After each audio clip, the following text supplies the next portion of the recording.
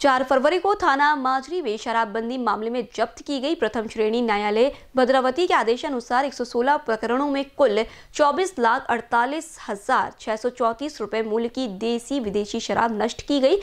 State staff ASI Dadmal H C Jumade H C Patil N P C Gunule N P C Borkot P C Aftade P C Chandekar P C Gadekar P C Rathore, उन्होंने कार्रवाई को अंजाम दिया।